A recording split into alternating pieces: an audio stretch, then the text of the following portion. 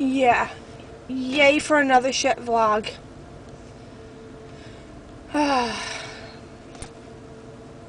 don't know. I can't seem to come out with anything but nonsense lately. Everything is nonsense. Thanks for listening.